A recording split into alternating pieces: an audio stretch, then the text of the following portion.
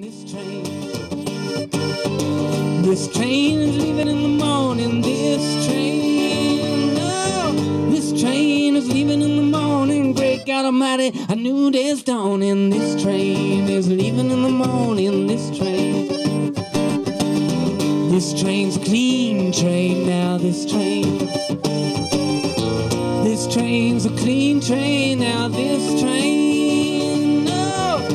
Train's a clean train. Breathe in, breathe out again. This train's a clean train. This train. Well, hi, I'm Andrew Cash. I'm the Member of Parliament for Davenport. And I'm here as part of this movement of, commu- of uh, community organization and of community members that live along uh, the, the uh, rail corridor in the West End here of the city to uh, advocate for uh, the electrification of any rail expansion that's going to go on here along the West End rail corridor. This train's clean train now. This train. This train's But the transit that's being planned is uh, an exclusive air rail link uh, that will serve mostly uh, folks traveling to and from Toronto, and it won't actually serve Torontonians very well. It's a really big challenge to not have uh, adequate local transit. City Council overwhelmingly supported a motion to not only bring clean trains, but to tr- make the trains that go through the neighborhoods serve those neighborhoods, not serve those only coming to and from the airport. Now this train is bound for glory. This train. This train is bound for glory. So there's wide consensus that running diesel trains in a high density neighborhood like ours has real health risks for people, particularly for children and for seniors. Uh, people are at risk of, of heart disease, of cancer, of respiratory illness, and you know we've had folks, including the medical officer of health for Toronto, come out and warn about this.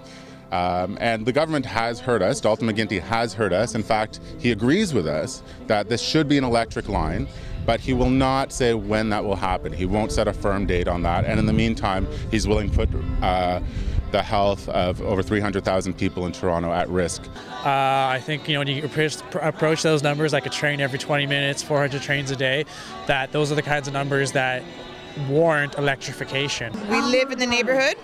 My daughter and Maria go to Perth Avenue School, and the train's going to be going right past their school every day where they play outside. And I'm really, really concerned about what this is going to do to their health. On the uh, on the east side of the tracks, the prevailing winds are from from the west.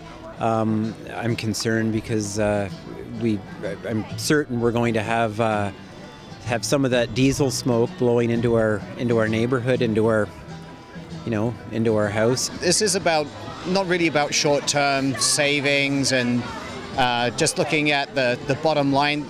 We're talking about people's lives for the, the next several generations. The people are very, very passionate about this. They recognize that it's bad for the environment and it's bad for their health. They know that it's being done for expediency uh, as opposed for uh, the, the longer uh, term good of everyday folks. Uh, and the government's got its priorities wrong. Dalton McGuinty's got his priorities wrong. Their own experts say that if they go electric second, if they do it, build it diesel first, then electric, it will cost them an extra $400 million. We as Canada must move forward and not go backward because every country around the world are investing in clean technologies in trains. It's about time we do the same here in Canada. This train's a clean train. Breathe in, breathe out again. This train's a clean train. Uh, it's just ridiculous to have built a beautiful trail like this, and, and it's a really developing neighborhood. Uh, and to uh, start, you know, putting a lot of smog, more smog in the area. This rail path is quite a boon to the area, actually. It's kind of like um, uh, it's become a human highway, and people love it. And if there's more traffic along this track with diesel, it's going to sort of negate the pleasure that we have of being away from the traffic because it's going to be just like being in a really busy intersection with the air quality being reduced. So many sights unseen, but I won't turn walk away. You can count on me. You can count on me.